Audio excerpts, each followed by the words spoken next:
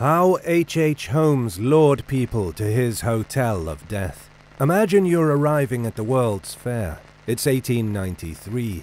You've heard of the wondrous things that are happening there, of technology the likes of which the world has never seen, and of a gigantic rotating wheel, tall like a building, from which you can see all of Chicago. You took a long train ride to get there.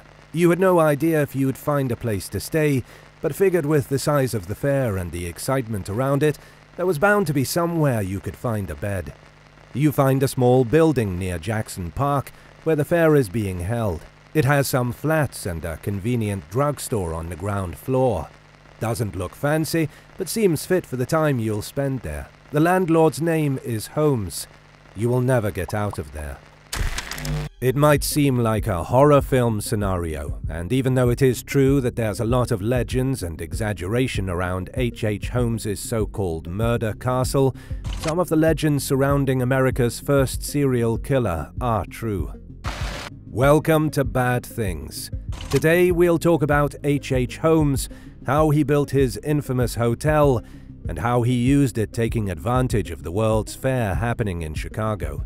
The details around Holmes's life are conflicting, and we will try to take a measured approach instead of just going with the wildest theories, some of which became quite ingrained in the American imagination. But first of all, who was Holmes? His birth name was Herman Webster Mudgett.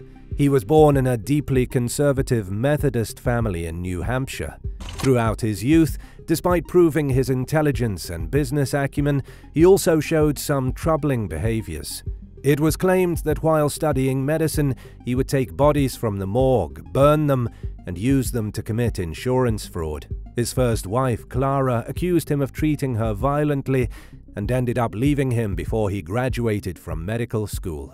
For years after graduating, he was involved in several insurance frauds and a couple of other murky occurrences, like the sudden death of a boy after ingesting a medicine he prepared, or the disappearance of another boy followed by him quickly leaving town.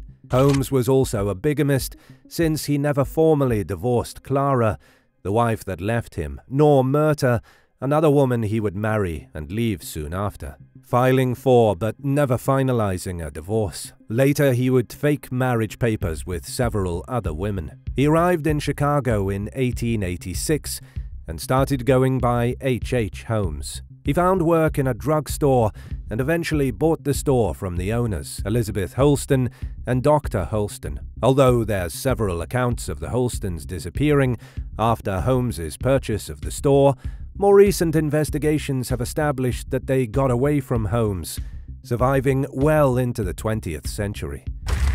Through several schemes and frauds, Holmes bought a bigger lot and built a two-story building to house the new drugstore and possibly some apartments. When, some years later, the site of the World's Columbian exhibition was chosen, it turned out that Holmes's property was relatively close to it, and so he hatched a plan to establish his building as a hotel for the World's Fair.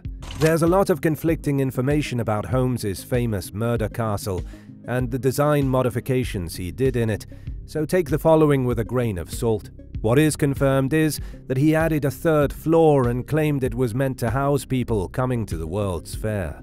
In the original building, Holmes had added a chute that went to the basement, which legend has it was used to transport the bodies of some of his victims. Of course, it could also have been only for dirty laundry. He also added a secret room that was in none of the building plans, which could have hidden bodies, or it could have housed just some unused furniture. And finally, the basement. The basement of Holmes's building is the room with most legends attached to it. Contemporary accounts spoke of a cremation chamber, gas jets, and in general a sort of torture and murder basement. Holmes had used cremation chambers before in his schemes with cadavers, but apparently none of these modifications of the basement were ever confirmed. What is highly likely is that Holmes's first victims were killed in that basement.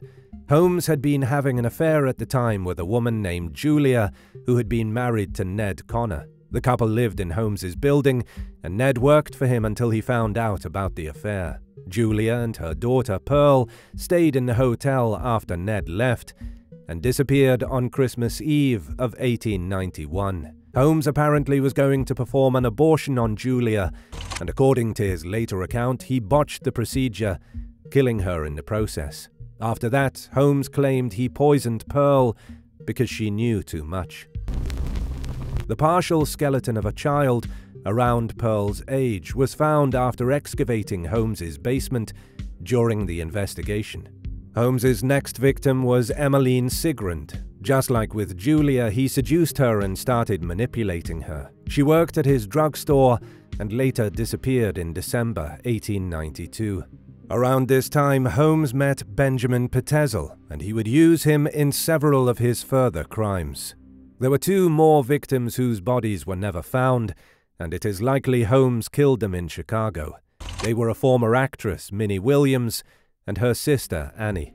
The last communication anyone had with the Williams sisters was a letter received by their aunt from Annie, which claimed they were going to Europe with brother Harry. Holmes never went to Europe.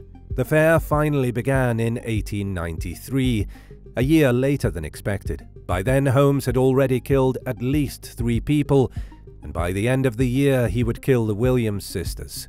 Holmes claimed he killed as many as 27 people during his time in Chicago, Indianapolis, and Toronto, many of them during the World's Fair. It is claimed he lured mainly young women to his hotel, and that some of them would disappear, and that within the chaos reigning because of the fair, he was never caught. His confession, however, should be put into question, since he was paid by the Hearst newspapers in exchange for it, and some of the people he claimed to have killed were actually alive at the time. He would, however, commit four more murders that were proven. His right-hand man, Pitezel, in an insurance fraud, and Pitezel's three children. So how did Holmes lure people to his hotel? A lot of it had to do simply with its convenience. He was relatively close to the World's Fair, and people needed places to stay.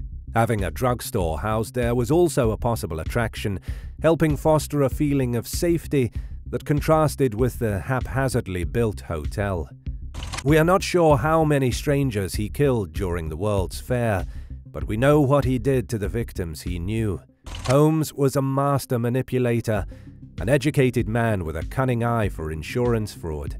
He would usually target young women, seduce them, take all the money and properties he could from them and their relatives, and eventually he would make them disappear. In the end, police could only charge Holmes with one murder, Pitezel's, but that was enough for the death sentence. Before his execution, Holmes helped build the myths around him with wild claims and changing stories. His famous utterance, which might also be apocrypha, claimed, I was born with the devil in me. I could not help the fact that I was a murderer, no more than the poet can help the inspiration to sing. I was born with the evil one standing as my sponsor beside the bed where I was ushered into the world, and he has been with me since. Some papers claimed he also said, I will not die by the hand of man, when he was interrogated. When they hanged him, his neck did not break, so he slowly asphyxiated to death for 15 minutes. In spite of the conflicting legends and myths surrounding Holmes, it is quite clear that he did several really bad things. Thanks for watching. If you enjoyed this story, be sure to like and subscribe, and check the notification bell for our future videos. See you next time.